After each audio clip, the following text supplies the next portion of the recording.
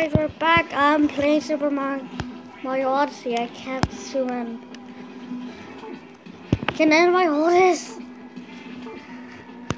Well, this is hard to play, guys. This is just like playing first person.